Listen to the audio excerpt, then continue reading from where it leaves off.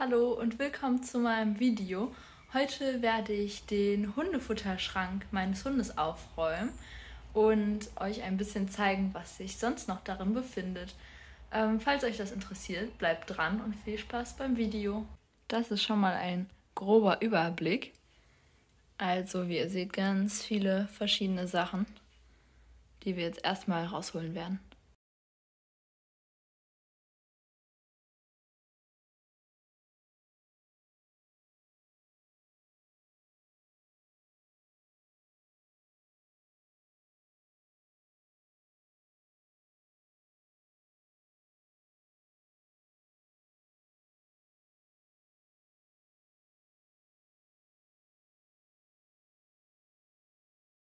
Hier unten drin waren außerdem auch noch so ein Maulkorb, den brauchten wir damals, als wir mit äh, ihm in Italien waren, weil das irgendwie wohl teilweise an manchen Strändengebieten Maulkorbpflicht ist.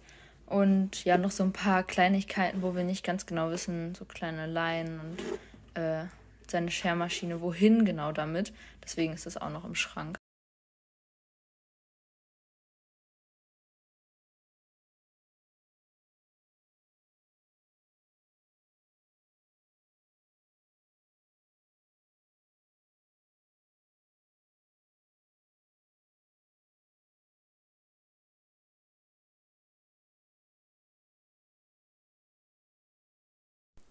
Falls ihr euch jetzt fragt, was das für ein Pulver ist, das ist ein Ochsenziemerpulver und ähm, das machen wir manchmal auf sein Futter, wenn er das verweigert oder wenn ihm das irgendwie nicht so gut schmeckt.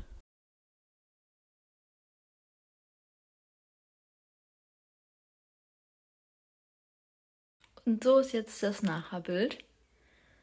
Hier oben habe ich jetzt noch die ähm, kleinen Leckerchen reingetan und außerdem ein bisschen aussortiert. Da hatten wir noch ein paar Futterproben, die er überhaupt gar nicht mochte.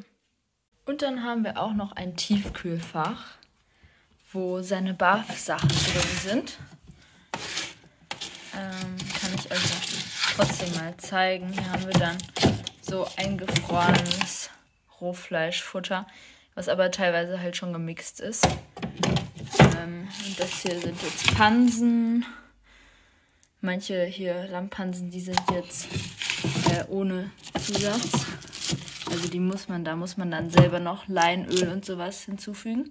Hier haben wir auch noch Hundeeis drin, zwei Sorten. Und davon gebe ich Ihnen jetzt einmal.